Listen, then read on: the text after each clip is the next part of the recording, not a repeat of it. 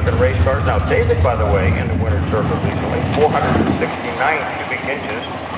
He has an Nova. And Joe says, well, that's kind of nice, but I've got a 572 cubic inch Ford in my Mustang.